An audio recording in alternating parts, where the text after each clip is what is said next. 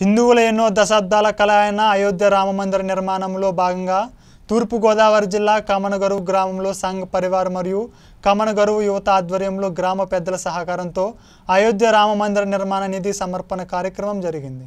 దీనిలో భాగంగా తూర్పుగోదావరి జిల్లా కామనగరువు గ్రామమంతా అయోధ్య రామమందిర నిర్మాణంలో భాగంగా నిధి సమీకరణ జరిగింది.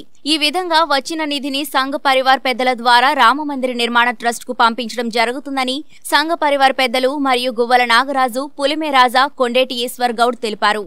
మనం ఇక్కడ శ్రీ అయోధ్య రామ మందిరాన్ని నిర్మించడానికి మనకి సహకరించినటువంటి ఈ అమలాపురం నుంచి వచ్చినటువంటి ఈ మన రామ మందిరం నిర్వాహకులకి మనం ప్రత్యేకమైన వందనాలు తెలియపరుచుకుంటున్నాను. చాలామంది పదకొండు వందల కోట్లతోటి ఈ రామ మందిరాన్ని రా- మన మన ప్రధానమంత్రి గారు ఏర్పాటు చేస్తున్నారు. అందరూ కూడా మన రాష్ట్రపతి కూడా దీనికి కోటి రూపాయలు ప్రకటించాడు.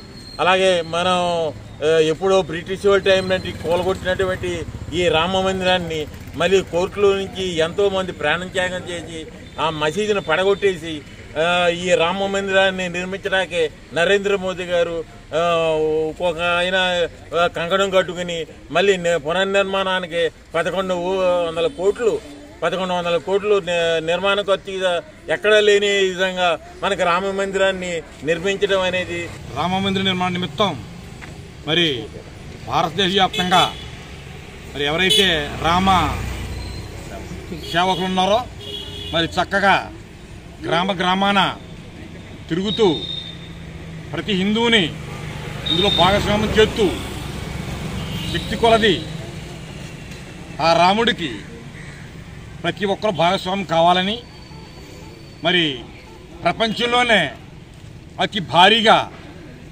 వేల కోట్ల రూపాయలతో ఈ రామ మందిరాన్ని నిర్మించినందుకు ప్రతి హిందువు కూడా ఎంతో సంతోషంతో ఉన్నారు.